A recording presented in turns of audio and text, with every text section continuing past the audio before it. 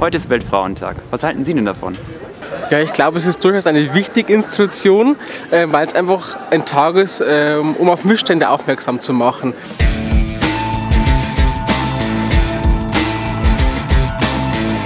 Heute ist Weltfrauentag. Was sagen Sie denn dazu? Ja, ich finde es grundsätzlich gut, dass es ihn gibt. Ich wusste äh, bis heute nicht, dass er schon über 100 Jahre alt ist und dass er in ähm, Amerika angefangen hat. Ähm, dass es in Russland wohl üblich ist, den Frauen größere Blumensträuße zu schenken, wie so eine Art Zwischending zwischen Muttertag und ähm, Valentinstag, glaube ich.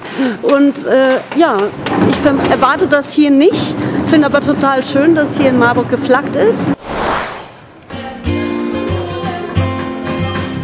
Ich möchte gerne einen Weltmenschentag. Einen, einen Tag, an dem alle so akzeptiert werden, wie sie sind. Und das sollte jeder Tag im Jahr sein. Das sollte ein Tag sein, wie jeder andere auch. Genau. Die Menschen sollen netter zueinander sein. Ja, Nicht nur an Weihnachten und heute.